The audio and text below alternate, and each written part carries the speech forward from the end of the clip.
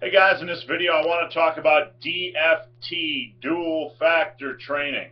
Before I get into that topic, guys, I encourage you to stick around to the end of this video, find out how you can reach me with your questions and or comments. So in a previous video I mentioned the topic of DFT, dual factor training. Someone asked me to elaborate on what it is, is it uh, useful, who can use it, that sort of thing. Um, dual factor training is basically and I'm no expert, so I'm going to explain it to best to the best of my ability. Dual factor training is basically focuses on two concepts. You have dual, one, two. You have fitness or strength levels uh, and performance, and you have fatigue, fatigue levels. So when you're fit, when you when you over time as you build up your strength or your fitness levels or your athletic performance levels, as long as your fatigue is uh, in a good place, your fitness levels can shine. Okay, with dual factor training, um, basically you push volume, you push volume, you push the, the workload, you push the effort, you push, push, push, push, push, to the point where you just start to feel overreached, overreached, near that overtraining point, you're fatigued, you need, you know you need a rest, um, you've been doing a lot of volume, you, maybe you're starting to feel a little bit worn down, that's when your fatigue levels are high. Now at this point, your fatigue levels are so high that it's making you hard to perform optimally because your fatigue levels are pushing down your, your ability to um, perform as strong as you could in the gym or maybe uh, in your athletic endeavor, whatever it is. So the theory is um, you basically push, push, push close to that overreaching period, and then you take kind of a rest. You take kind of a deload, okay? And then uh, that fatigue rescinds, and then your fitness levels, you're starting to recover. Now you can really shine. Now you can really hit the gun or, or hit the uh, gas pedal and um, and really start to have your uh, your strength level shining, your athletic performance shining, so on and so forth. So that, that's just uh, one aspect of dual factor training. It's basically the concept that you have you have to monitor both your fitness levels or your strength levels or your your uh, your your athletic performance levels and your fatigue levels. When in training, a lot of times with DFT, um, you'll you'll see uh, people pushing it, pushing their uh, pushing their training close close to that overreaching stage where they know they need a rest. How do you know you need a rest? You'll know you need a rest. When I was doing volume training, I was squatting three times a week. I would do basically, uh, I, I would do, I used kind of dual factor training for several years. I would train for two weeks on, one week off. Um, there's many, many ways to apply this dual factor type training. I would go into the gym, I would squat three times a week, every other day, um, for a max heavy single on that given day. Now this is just one template, kids. Don't follow this. It took me years to get this um, figured out and ironed out.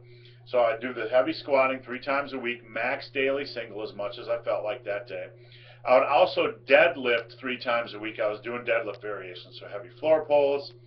Um, I would also do low rack pulls um, which was my more moderate day heavy low rack pulls. And then uh, I would also do like a high rack pull and power shrug combination.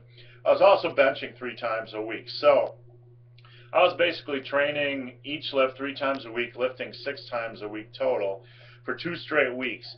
By the end of the second week, with all this work, I was just feeling squashed. I was feeling dead.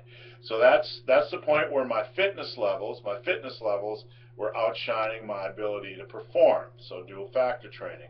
My fitness levels was uh, were not allowing me to. Uh, I was so close to that overreaching stage that I couldn't perform properly. Now, don't panic. I didn't say the overtraining word, but let's just set that nonsense of those debates aside.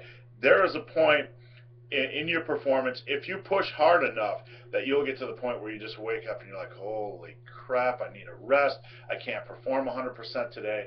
So uh, at that point in my training, after two weeks, after two weeks, I would take a complete week off. Now some guys could take a, you know, um, there was some debate that I could take a deload or whatever. I would take, I tried taking a complete week off. It worked for me. When I would get back into the gym after that week off, my fitness levels which were way, or which were down here, and my my fatigue my fatigue levels were back down here. I would get back to the gym. I would feel stronger. I would be nailing PRs. I would just be performing um, like a stud. So that's basically dual factor training. I hope the, I hope this video has helped some.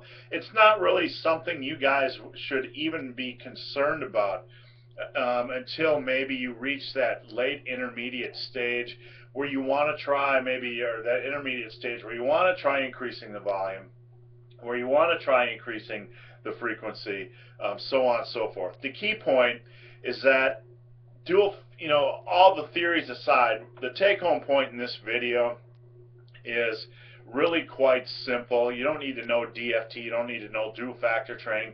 You don't really need to remember the theory and how to apply it and worry about how to apply it and all that kind of good stuff.